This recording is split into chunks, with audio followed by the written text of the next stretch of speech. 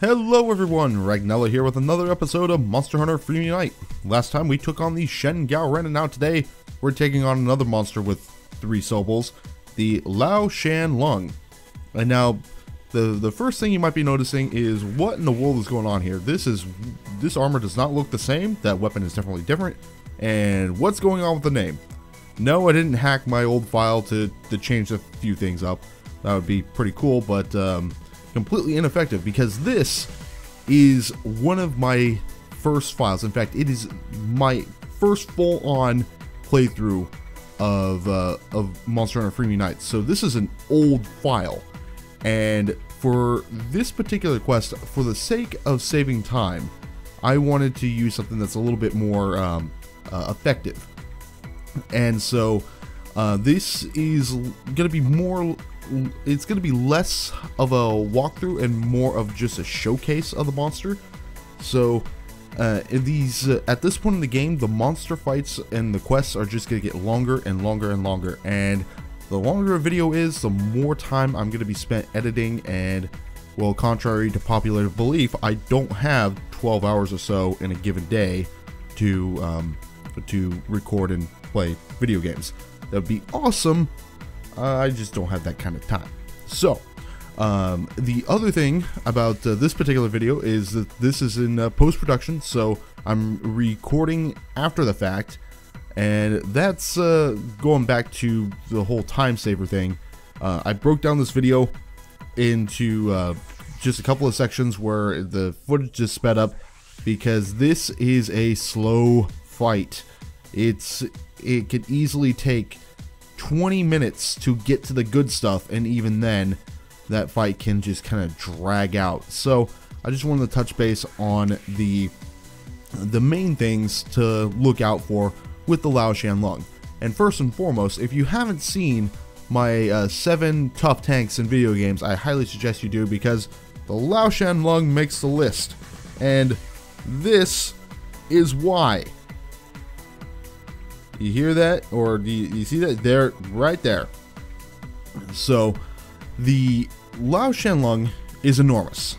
The Lao Shan Lung translates to uh, Old Mountain Dragon, or can also be roughly translated to Great Mountain Dragon.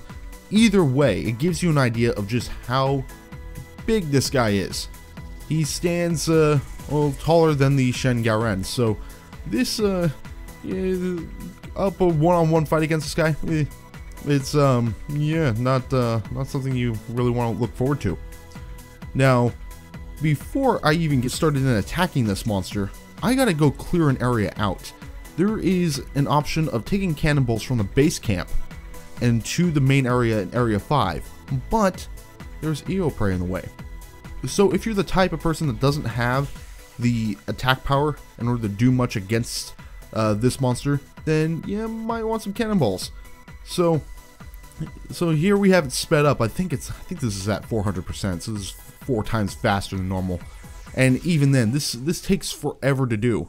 So these Ioprey are in Area 6, and uh, you'd have to go past these monsters in order to get the cannonball into the next area. But the cannonball functions like the egg or the, um, I think it's a powder stone where if you get hit, you drop it and it breaks. It it just it sucks. It sucks. So an option that you can do is to take out these Ioprey to the point where they don't respond. They uh, they do have a limit to, to them. Uh, thank God. That way you're not uh, spending forever and a half just trying to um, trying to get a cannonball between uh, from here over over into Area Five. And just so you know, I did all of this and I went back to face the Lao Shan Lung, and he was just coming into Area 2. So that that just tells you how long this this takes. It's it's so slow. So this is just an example. So this is Area 5, and this is a cannon. So you press the circle button when you're at the cannon, and it launches. So there you go. And so now I'm going to go over and confront the Lao Shan Lung. And like I mentioned earlier, these he's just getting into area 2 at this point and i think uh, we're getting close to five minutes in somewhere around there I'm I'm thinking that maybe the Lao Shan Lung had uh, moved a bit further into Area 2 at this point. Nope. So we're to go around the corner here, and it's really nice and foggy, which I, I like it for the kind of uh, the the creepy factor, but it doesn't change the fact that, my god, look, look how slow this guy is. He's big, he's lumbersome, and for the most part, he will not attack you. So the entire time you spend in areas 2, 3, and 4, you're just doing damage against the Lao. And it's there's there's nothing else that you can really do. There's uh, he, he he cannot die outside of area 5. So all you're doing is just racking it on for the final fight in area 5. But to kind of pass the time here, um, I do have the wiki open and I'm just to read off some fun facts here. Um, this uh, the Lao Shan Lung does also have a subspecies, which uh, that's those footage I used in the uh, in the countdown that that features this monster, and that's the Ashen Lao Shan Lung. So he looks kind of like a uh, a bluish gray, and even then, it's the exact same fight, by the way. And that's going back to my complaints on subspecies. It's just come on, come on, Capcom, just you know, uh, spice it up a little bit. If you're gonna make a monster a different color, for God's sakes, have more than like one different attack and the, and a, a health increase. That way, the the fight remains fresh instead of it just being uh, slightly better materials and armor and making the fight last long again. And according to this, uh, the the wiki is that the the Lao Shan Lung gains uh, size when it is in an area where I believe it collects dust particle particles from the atmosphere, which I think that's that's pretty cool. So a lot of this monster is just dust.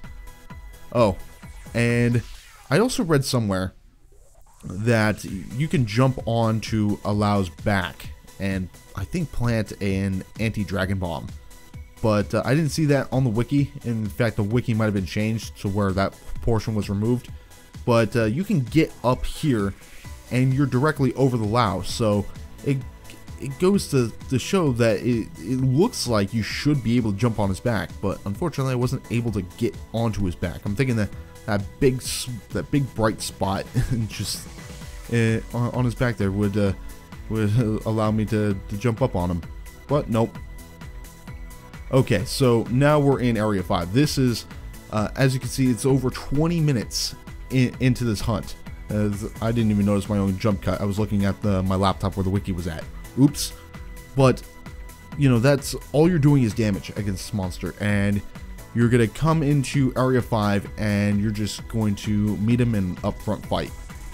Now, the first thing that you want to do is you want to be able to use the Dragonator, which is that uh, that lovely red button that you're seeing in the lower left hand corner.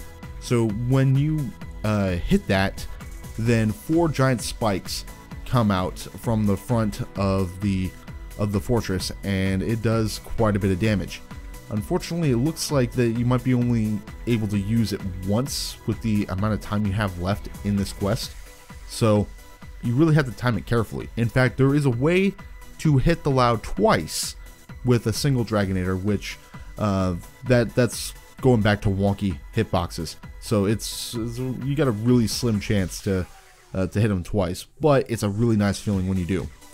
Now, normally what happens is that the Lao will uh, stand on his uh, hind feet and he'll walk towards you and attempt to attack the front of the fortress. But uh, he wasn't having any of that, and so he was deciding just to roar a bunch, which, by the way, that takes high grade earplugs in order to block. And he was also ramming the uh, the front of the fortress with his skull, which that does a whopping 10% to the fortress's integrity. I found out, and it, that's uh, it's kind of scary. So look at that. The, the, fortress integrity was just going down a lot faster than uh, than, uh, than I want, wanted to. I was hoping it was like five percent, but uh, he just he was just cycling through, roaring and hitting the front of the fortress. So I don't know what was going up, uh, going on with him at this point.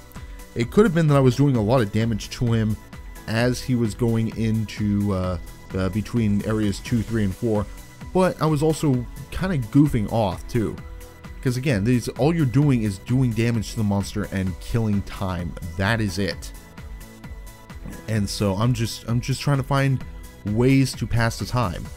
And in fact, right here, I'm, I'm getting impatient because I want the monster to get up on his hind legs. And I'm thinking, uh, yeah, right.